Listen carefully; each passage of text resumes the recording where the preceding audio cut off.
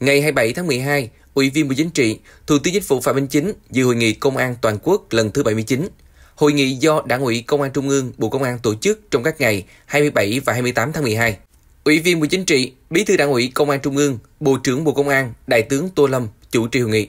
Hội nghị khẳng định năm 2023, lực lượng công an nhân dân đã bám sát sự lãnh đạo của Đảng, quản lý của nhà nước với sự quyết tâm chính trị rất cao, nỗ lực rất lớn, hành động quyết liệt, đổi mới cách làm theo phương châm bám sát thực tiễn, giải quyết các vấn đề từ thực tiễn đặt ra và ngay từ cơ sở, đã thực hiện thắng lợi mục tiêu, yêu cầu nhiệm vụ, góp phần tích cực bảo vệ độc lập, chủ quyền, thống nhất và toàn vẹn lãnh thổ, lợi ích của đất nước, tạo môi trường an ninh, an toàn, lành mạnh, phục vụ nhiệm vụ phát triển kinh tế xã hội và mở rộng quan hệ đối ngoại.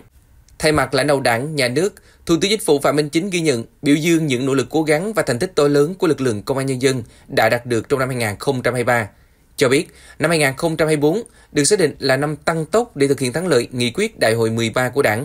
Thủ tướng yêu cầu lực lượng công an nhân dân tiếp tục giữ gìn truyền thống vẻ vang, anh hùng, thực hiện có hiệu quả các chủ trương, giải pháp, đề án về công tác bảo vệ an ninh quốc gia, bảo đảm trật tự an toàn xã hội và xây dựng lực lượng công an nhân dân – Lực lượng công an nhân dân cần tiếp tục gương mẫu đi đầu, thúc đẩy tinh thần dám nghĩ, dám làm, dám chịu trách nhiệm, dám đổi mới sáng tạo, dám đương đầu với khó khăn, thử thách, quyết liệt trong hành động vì lợi ích chung, xây dựng lực lượng tinh, gọn, mạnh, bộ tinh, tỉnh mạnh, huyện toàn diện, xã bám cơ sở. Phát huy mạnh mẽ phong trào toàn dân bảo vệ an ninh Tổ quốc,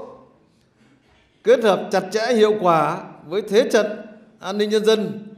và thế trận quốc phòng toàn dân gắn với thế trận lòng dân vững chắc. Mấy cái thế trận này là chúng ta phải làm.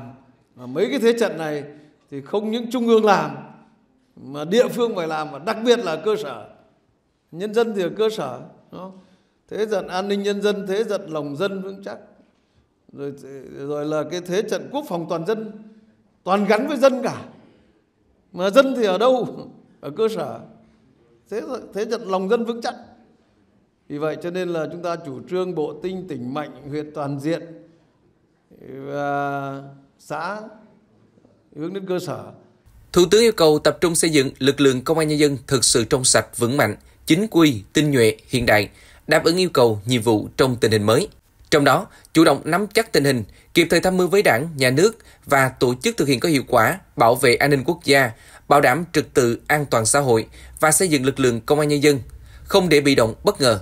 Lực lượng công an nhân dân phải nâng cao hiệu lực, hiệu quả công tác quản lý, xây dựng và thực thi pháp luật, tiếp tục gương mẫu đi đầu trong chuyển đổi số, cải cách hành chính và triển khai đề án 06 của chính phủ để tạo điều kiện thuận lợi cho doanh nghiệp và người dân. Nhân đây thì tôi đề nghị các ông chí giám đốc đấy, triển khai cái công tác nhiệm vụ của năm 2024 này tập trung vào cái cái, cái đề án này như vậy đảm bảo cái, chống cái tiêu cực, chống cái lãng phí, chống cái tham nhũng trong cái triển khai cái đề án này mà chúng ta phải triển khai tích cực. Vì triển khai tích cực thì rất có lợi cho người dân. Thủ tục hành chính rồi phiền hà rồi giảm cái chi phí giảm cái chi phí tuân thủ giảm cái chi phí đầu vào ờ, cho người dân ờ, cho cái sản phẩm của người dân và doanh nghiệp.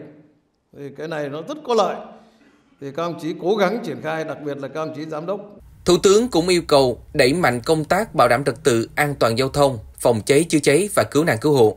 chủ động bảo đảm tài chính, hậu cần, kỹ thuật, phục vụ công tác thường xuyên và chiến đấu của lực lượng công an nhân dân, phát huy công tác an sinh xã hội với tinh thần không để ai bị bỏ lại phía sau, phát huy vai trò đi trước mở đường, tích cực chủ động trong đối ngoại, hợp tác quốc tế, phối hợp chặt chẽ, hiệu quả với các ban bộ ngành, cấp ủy, chính quyền các cấp, nhất là quân đội nhân dân, tòa nhân dân, viện kiểm sát nhân dân, huy động sức mạnh của cả hệ thống chính trị, thực hiện thắng lợi sự nghiệp bảo vệ an ninh quốc gia, bảo đảm trật tự an toàn xã hội và xây dựng lực lượng công an nhân dân.